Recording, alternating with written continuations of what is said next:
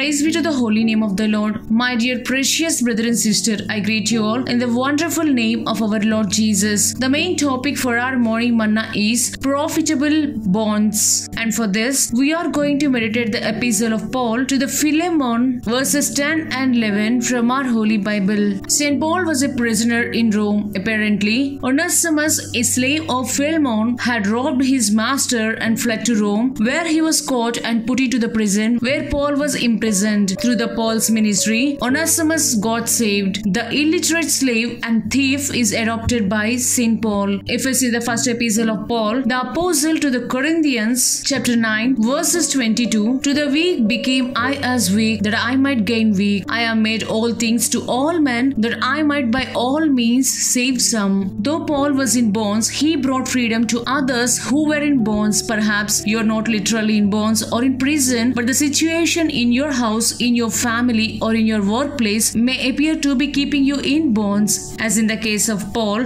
God might have permitted your bonds to bring freedom to others. Do you remember what happened when Paul was thrown into the Philippian jail? The jailer received the salvation. In the same manner, we can see all this in the Acts of Apostles, chapter 16, verses 22 to 33. In the same manner, your jailer too can be saved. Onesimus means profitable. Once he was an unprofitable servant, now that he is saved, he becomes profitable to St. Paul and to his master. A saved person should be a blessing to the spiritual world and to the secular world as well. May God give his grace to all of us to become as a profitable bonds in order to become a blessing for many. God bless you all.